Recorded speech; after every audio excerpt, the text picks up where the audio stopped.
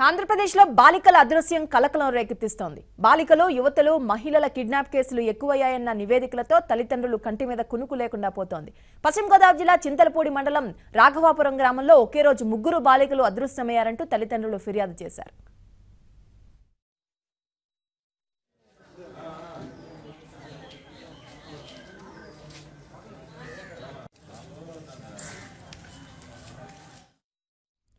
కనిపించకుండా పోయిన ముగ్గురు విద్యార్థినులు శాంతినికేతన్ స్కూల్ విద్యార్థినులు.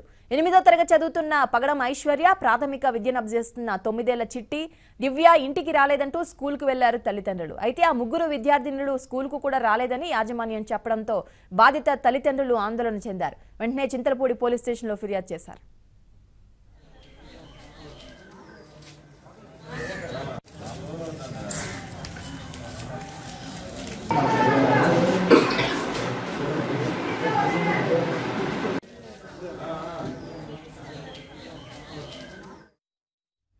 ముగ్గురు విద్యార్థినుల అదృశ్యంపై కేసు నమోదు చేసుకున్న పోలీసులు గాలింపు చేపట్టారు.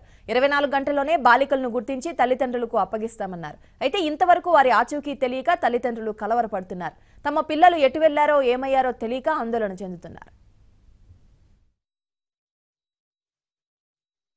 ఐశ్వర్య రాఘపురం శాంతి స్కూల్ ఎనిమిది తరగతి చదువుతుంది.